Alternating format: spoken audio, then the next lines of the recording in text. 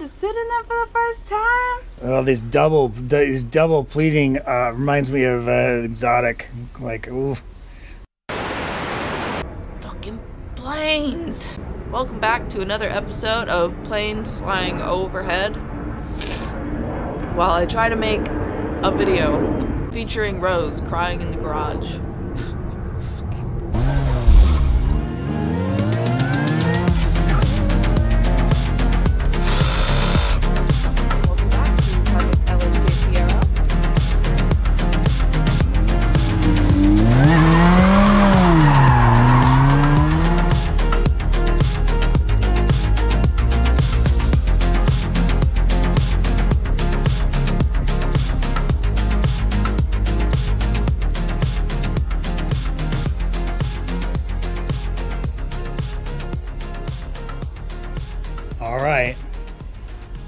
It's been two and a half days. A trip to the dump, a trip to the scrapyard, and a trip to our property to dump a bunch more stuff. But we finally have an open garage space, which will allow us to film a little bit more frequently in here, I hope. Plus, a little bit of computer desk that I might be able to edit at or something, you know? All right, you guys, drum roll, please. While I'm opening this box, I'm gonna give a shout out to Mike. Thank you so freaking much for making us another beautiful pair of seats. I already know what they look like, so I know they're gonna be beautiful. What's in the yellow? Oh, I, I see. It's the stuffing. It's Oh. extra stuffing. Oh, cool. There's this inside. Oh my God! It says rose. There's, an, there's one for you too, I think. No, wait. No, this one's just for me. What what does that one say? That one Uh, says hog razor blades are sharp. Hog rings. Do not place hog rings in mouth. Well, Mike doesn't really like to have any fun, then, does he? So these are actually prepped to install. So she's gonna have to invert one to show you guys. Yeah. But then you'll have to redo this. So keep this in mind. That emblem is huge. It's good. It's good. I love it. Yeah, I'm glad we went with the, just the Pegasus over over anything else. I'm Oh, so geez. excited. I feel like these are like pretty pretty normalized seats compared to the other ones we got, but that's what I love about them. And we we initially decided that together. We were like, we aren't gonna do anything extravagant. We just wanted beechwood. We wanted to keep it clean. You know, like that was the whole point of the car itself is like modern day four banger in the back, and we wanted the interior to just look good. So that's definitely. Well, that's a stark contrast with how we got it.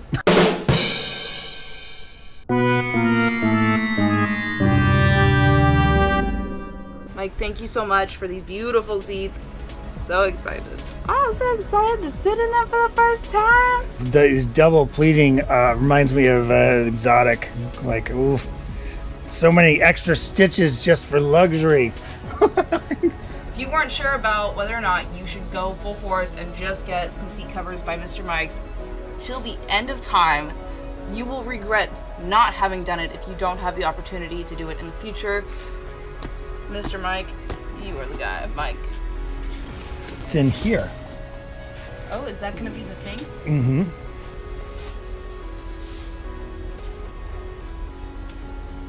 Will go over the center console. Super beautiful. Isn't my saddle from Mike too? Yeah. It's cute. Love it. If you have been considering getting seats from Mike, you definitely should get on it now.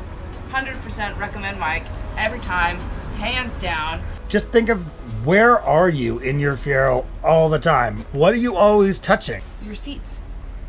Your your center console. Like It's it's not even just about how they look. Like the added padding and the nice feel, it just it feels different. It's so much more does no, and they complete the car. Really, they like literally the car feels absolutely different. I can tell you that between driving the 4.9 or just driving Prince and driving the LSJ, I can tell you that like when I'm sitting in these really nice seats, I feel the car is just whole. It's complete. Like there's something to that that's very significant. We will make sure to drop a link to Mike's website down below so you guys can go and look at any of the seats he already has. Mike, we love you. Thank you so much. Okay, you guys. So before I do absolutely anything to the seats, I am going to go to Mr. Mike's YouTube channel and I'm going to watch his how-to on how to install these seat covers. This was made on VHS in 1995.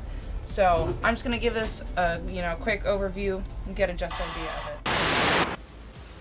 Hi, welcome to Mr. Mike's. I'm Mr. Mike. I'm going to show you how to reupholster a Fiero seat with a leather seat cover. First thing you need to do is get the seat out of the car. And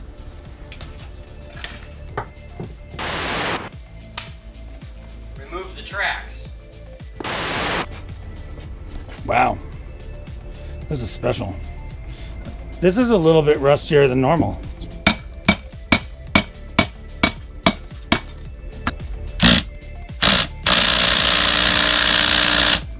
Holy crap. All right, we already had a little bit of fail. So yeah, the original seat was so rusted out that one of the bolts didn't uh, didn't even come out. Here's the bolt that didn't fully come out. It, dude, I've never seen that. It just broke off right in the seat. So we just would rather not use something so fucking rusted. We'll just we'll set it off the side and onto the two passenger side seats.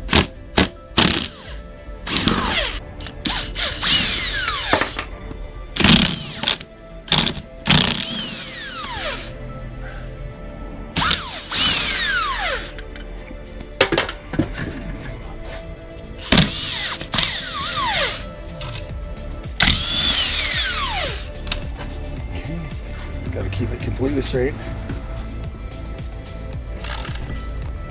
Okay, don't, uh, yeah. That's a very long bolt. So, push the center button.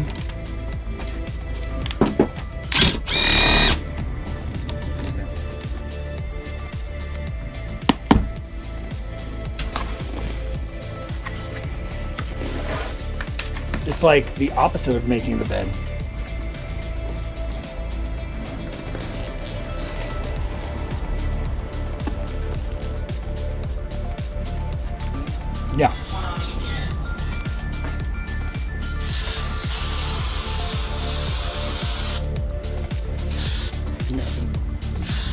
Yeah.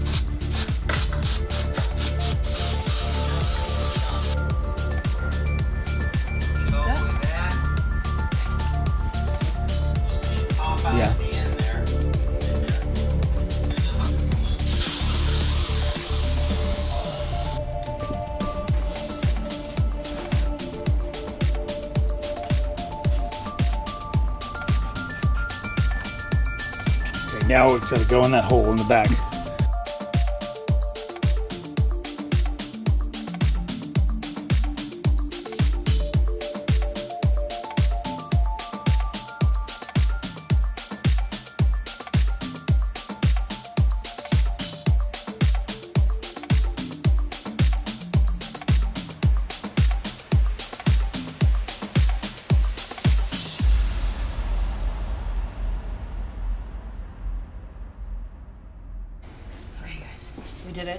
It. We did the bottom of the seat so far. It looks fucking primo. Slap it a little bit so get it, get any wrinkles out, you know? Onto the back? Oh, God. Okay, guys. So I need to get wires out of the back of this seat. So what I'm gonna do is I'm gonna cut across and then I'm gonna cut up the middle. Um, we also might need some of the foam from the seat. So. Well, because our passenger seat had the seat cover already moved, and therefore the listing wires are gone from it. So we got a naked seat that's really clean, but no listing wires.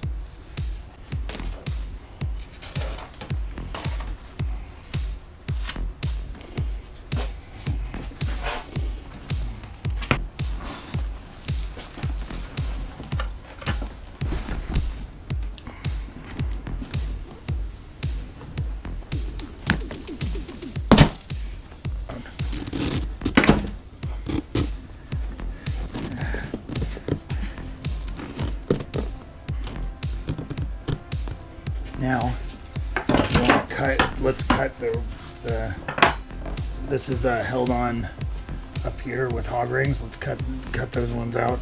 This thing. All right. Freedom! Wow, The multi seat doesn't really look any different than once you. Yeah, do it just like Mike. Making sure putting it on straight. Like. Grab your hands in there.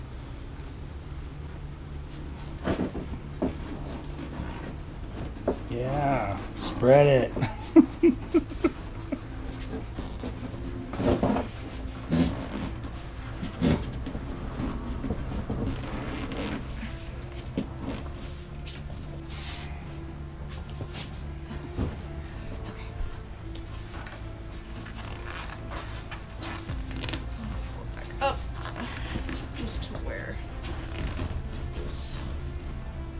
back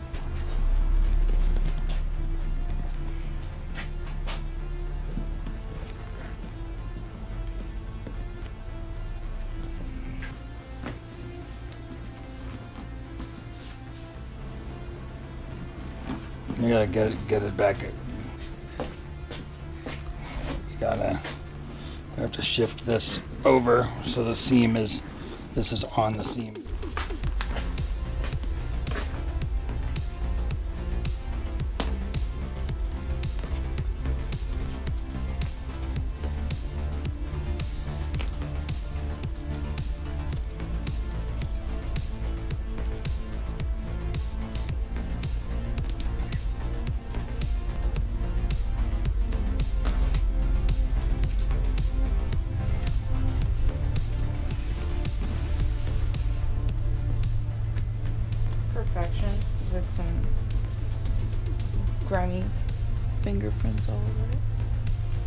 Yeah, you should clean your hands more often, Rose.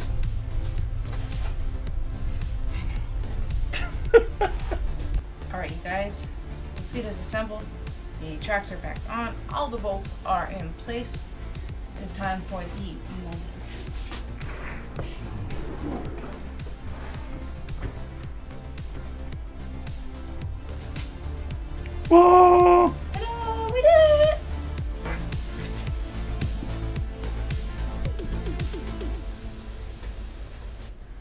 So, how does it feel to assemble your first seat? It's good. I wish. I almost wish we could do the other one, but it's like midnight and the kids have been asleep, and and uh, gotta send that sitter home. So glad we don't have a second seat to do because I don't want to do it right now. But I'm impressed. I'm thoroughly like I always love Mike's seats, but I really enjoyed putting this together. And I'm glad we got to have time to. Nothing says uh, good good marriage bonding like putting together Mr. Mike's seat. You guys think about that. Yeah. like you want to know why our marriage is so successful? It's because we built a car together. All right, see you next seat. Do you know this is going to be like really short for them? It's going to be instantaneous uh, to us installing both these seats. But you're gonna be doing it tomorrow. Like, ah, why? Man, we're finally done with these two seats. Uh, it actually took me a lot longer to finish the second one because just haven't had a lot of time lately. Lots of family things going on. B pillars are ready to go in. Woo! In genuine beechwood. Cleaned up and painted these speaker grills a little bit, dyed them back to the factory color. Everything is very exciting, but we've made a huge mess of the garage, and apparently, you can make five Fiero seats into two. I wouldn't recommend it though.